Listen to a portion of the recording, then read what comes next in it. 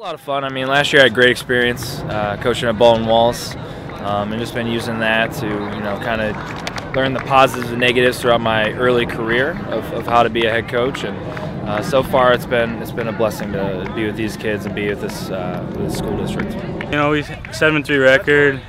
We know we can uh, improve on that, obviously, and I think that uh, how we're playing so far that we can improve a lot.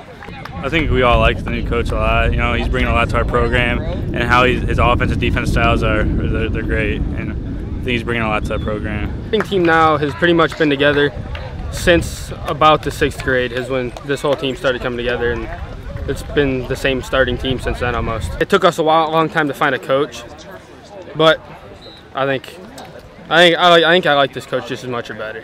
For me, it was a lot easier playing, you know, because you're you're in uh, a controlling state. Whereas, you know, with these kids now, you you know, you just give it your best shot as far as developing in practice and through the off season. But um, with each practice, with each year, I get better with that.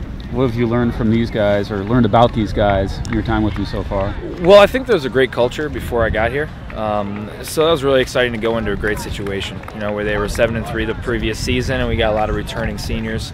Um, so the experience factor has been great, uh, having those kids around. Um, you know, and it's been exciting for me to kind of piggyback off of some guys on my staff that have, you know, more experience than me.